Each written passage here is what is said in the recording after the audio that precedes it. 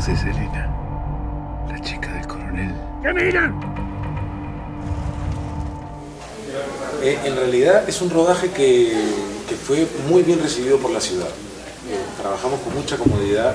Tuvimos algunas dificultades en, en Polvos Azules, porque Polvos Azules es un, es, es un mercado popular, ¿no? vibrante, emblemático también de la ciudad, pero era muy complicado hacer las escenas sin que la gente mirara la cámara o sin que la gente, por el hecho de yo ser actor y ser una persona conocida ya, eh, tuvimos que recurrir a, ciertos, a ciertas mañas, a ciertos trucos para... ha- Hacíamos como que me estaban entrevistando por, por otro lado para que la gente mirara otro lado mientras hacía la escena. Pero en general, salvo, salvo eso, que era creo una dificultad que hubiéramos tenido en cualquier centro comercial, eh, no, la ciudad nos, nos trató muy bien, trató muy bien por donde íbamos, la gente estaba muy contenta de que hubiera una película cerca, eh, se ofrecían a ayudarnos en lo que fuera necesario, así que fue una muy buena experiencia. Eh, el, el trabajo en general fue, yo comencé a finales del 2005, pero tomé el camino más largo, por, por, por inexperto, ¿no? por ignorante en realidad. Lo primero que hice, para que te hagas una idea de mi nivel de ignorancia, fue escribir hecho por hecho lo que ocurría en la novela. O sea, comencé a trabajar en la novela y dije, hecho uno, lo más numerado, ¿no? Hecho uno, este, este. Para luego yo pensaba que con un listado de los hechos, bueno, así, así fue mi comienzo, de- así de primario. Pero, pero en realidad es- es- ese ejercicio fue lo menos difícil de todo, ¿no? Lo difícil fue encontrar la manera de contar la historia. Yo trabajé, Magallanes es el cuarto protagonista con el que intenté contar esta historia afortunadamente el protagonista que, que permitió que la película exista. Pero antes estuve un poquito más de tres años trabajando con la idea de que otro personaje fuera el protagonista. Así que fue una, una universidad de la calle para aprender a escribir. A mí lo que me llamó la atención en principio fue que Salvador me lo hizo leer. Yo recién me entero que fue primero leerlo, pero que Salvador me lo hizo leer sin, sin ningún tipo de ofrecimiento ni de, Me lo hizo leer para preguntarme qué te parece. Y lo leí como, efectivamente, como, como que lo lee cualquier persona, sin pensar inclusive que yo estaba dentro de la historia. Y lo leo y, y una vez que lo termino de leer, al, al pocos días nos juntamos y me dice, hay un personaje de ahí que es un abogado, ¿lo viste? Y le dije, sí, me dijo, lo vas a hacer tú. Entonces a partir de ahí me empecé a involucrar yo, pero de esto fue como en el año 5. Sí, O sea, sí, sí. ya cuando tenido tuvo- mucha paciencia. Sí, ya cuando, cuando, tenía, cuando había hecho su primer, casi su primer borrador armado de, de- de la película. Y, y me gustó mucho, de hecho, en la primera versión que yo leí, el personaje no, no era, era menos extenso. Tenía como un, sí, un- dos o tres escenas menos. Sí, sí, sí. Y, y- y entonces fue teniendo, fue teniendo más participación y me gustó mucho el hecho de que sea un personaje que cambia a lo largo de la historia, que comienza de una manera y que termina de otra, porque usualmente no encuentras eso en todos los guiones, no encuentras personajes que comienzan exactamente igual, que, o sea, que terminan exactamente igual que como comienzan, pero aquí había, aquí había una curva y eso es lo que me gustaba. Como contaba Cristian, eh, yo tenía muy claro que quería que fuera el abogado. Y fui, y como Cristian y yo somos amigos hace tanto, entonces le di el guion, pero yo, yo ya sabía que quería que Cristian hiciera el, el papel, salvo pues que él me dijera, oye, ¿qué cosas has escrito? Esto es una porquería, no sirve de nada. Pero ya que le gustó, entonces le dije, bueno, quiero que hagas el, abogado. Lo que me pasó con, y también tenía en mente, yo sentía que Magali Solier tenía que hacer Celina. No la conocía, conocía su trabajo, pero no la conocía. Eh, y para, lo, para dos personajes también principales, importantes, como el del protagonista Magallanes y el del coronel, tenía dos referencias muy fuertes. Cuando hablábamos con el equipo de producción era, necesitamos a alguien como Damián Alcázar y a alguien como Federico Lupi, sin, pensar, sin sospechar que, que pudiéramos acceder a ellos era casi bajo la conciencia de que era imposible tenerlos a ellos, lo cual es un error. Pero bajo ese error estábamos trabajando. Hasta que estando en Colombia, donde yo vivo hace más de nueve años, un, amigo y, coproductor de la película por el lado colombiano, Felipe Martínez, eh, estaba dirigiendo una serie en la que Damián estaba trabajando en Bogotá y me dice, está en Bogotá, voy a cenar con él, ¿por qué no te aparece por el restaurante? Y los presento y así fue. Y al día siguiente en la mañanita le dejé el guion y a la hora del almuerzo me llamó Damián a decirme que estaba en la película, que quería estar en la película. Yo estaba preparado para esperar un mes. Que si en un mes no tenía noticias, estaba preparado para escribirle, comenzar a molestar, decirle, ya lo leíste, de inmediato. Ese hecho creo que ya nos animó a decir, bueno, entonces, ¿por qué no Lupi? Total, lo peor que puede pasar es que nos diga que no, que no le gustó, que está ocupado. Y sin embargo, no, le gustó y, ahí están esos dos gigantes del cine iberoamericano también en nuestra película. Sí, yo, creo que el claro, si, si te pones a pensar que en el fondo Magallanes es una película sobre el pasado, que no tiene un solo flashback, es, como un ejercicio rey, digamos, en, toda la historia.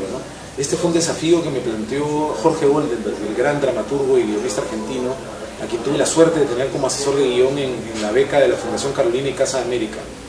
Eh, él leyó la historia cuando yo tenía un borrador en el cual había como cinco flashbacks eh, tres de los cuales yo consideraba esenciales, esenciales. El momento en el que Celina huía del cuartel, el momento en el que el coronel la veía por primera vez, el que se la habían dejado en su cuarto y, le levantaba el rostro por el mentón y la veía y le decía, pero si tú eres una ñusa.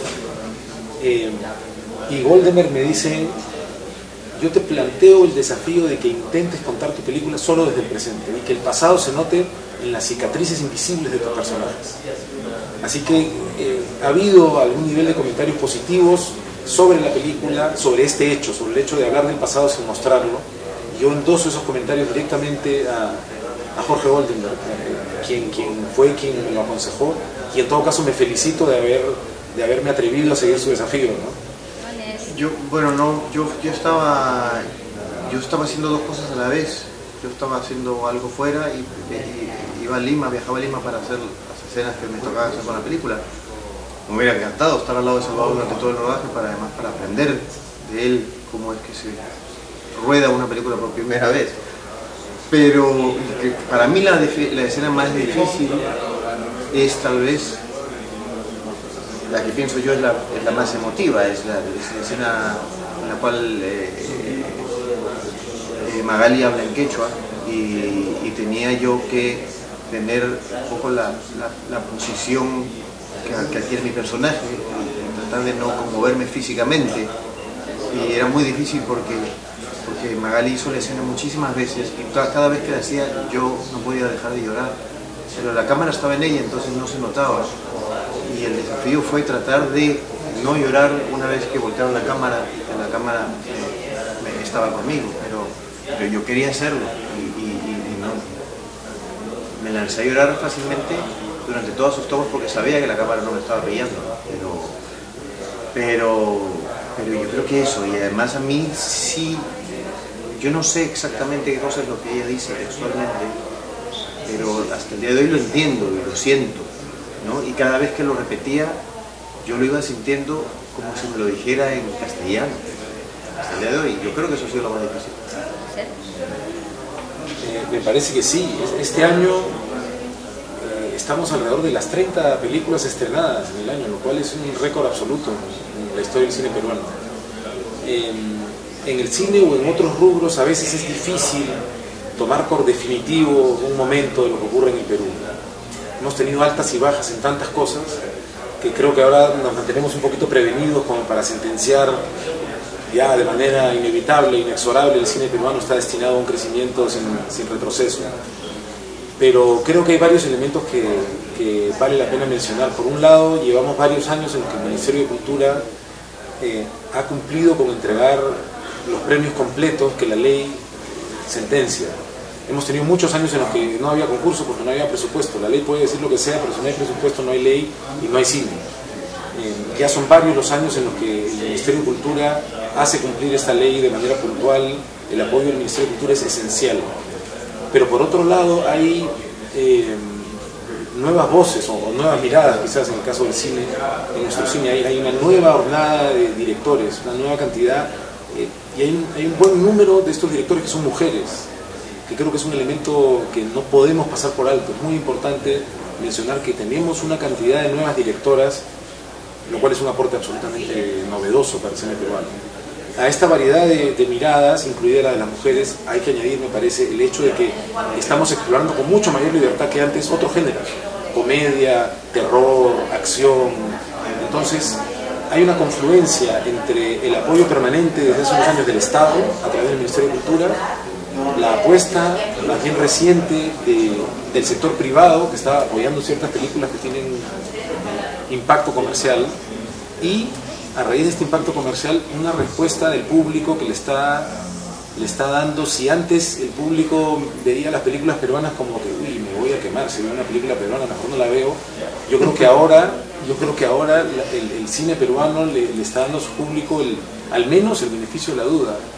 Y hay muchas películas que, que han llevado a mucha gente Además, además hay algo que no solamente ocurre en el Perú, sino que creo- yo creo que es, eh, que, que es globalizado. Yo creo que la tendencia en todos los países es empezar a producir más, porque la tecnología ahora nos permite más que antes. Hoy es más barato hacer una película que hace tiempo, por, por la misma, el, mismo cambio digital. Porque claro, antes las películas en 35 milímetros costaban muchísimo, porque eso costaba muchísimo, filmar y revelar, pero, y revelar, pero ahora la tecnología trae más cercana el, oficio y hace que mucha gente que, que tiene mucho talento le sea más fácil lanzar un proyecto. Terrible. Terrible. Eh, eh, es- lo bueno es que es un director que conocía muy bien el perfil psicológico de cada uno de los personajes, entonces era muy fácil, era muy fácil entenderlo, era muy fácil entender eh, lo, que, lo que él quería transmitir, porque él lo había escrito y él sabía que era lo que quería. Y por otro lado, el canal de comunicación que particularmente tenemos nosotros es bastante amplio, al tener 30 años de amistad, así que eh, hubiéramos podido entendernos hasta con los ojos cerrados y sin hablar, ¿no? Pero, pero es el mejor jefe que uno puede tener.